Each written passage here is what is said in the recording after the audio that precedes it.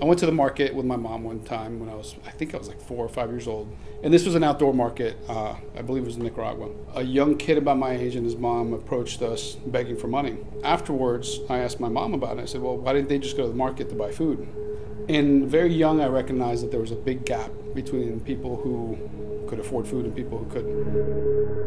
Having moved to the US as a teenager and grown up in the US, seeing people drink a cup of coffee and how people could afford these things and how there was just a lot of money going into the products that actually I had seen growing.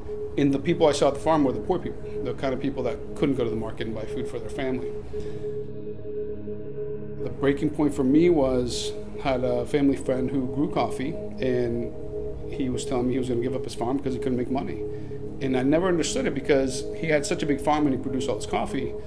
And then he showed me the supply chain. And he said, look, I sell the coffee to a guy who takes it to the mill. The mill, you know, processes, exports, takes it to the importer. Importer sells it through a broker. Broker sells it to a roaster. There's this complexity that's been created because of access to market and access to capital that the traders have. And then I realized that I could make the traders obsolete if I really could build the business. And that's why I started. Our company purpose is to eliminate systemic poverty in Latin America through the direct trade of artisanal organic foods. And their farm is their home. They, their home is on their farm.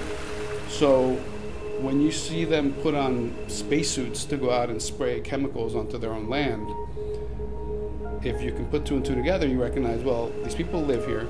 A lot of people think that organic is about the consumer. It's a much more holistic issue. We have to protect the soil. We have to protect the communities that grow our food. We have to protect the people who live there. For us, quality is everything. Giving the best quality at the best price is value. And it's also giving the producer the best possibility for a long term future. So I think for us, it's a matter of feeling good about making that positive impact in Latin America, but also feeling good about making positive impact in our country here in the US. I'd like to believe that people who buy our product, once they know how we operate, why we operate, would feel empowered and would feel actually grateful that they're part of something like that.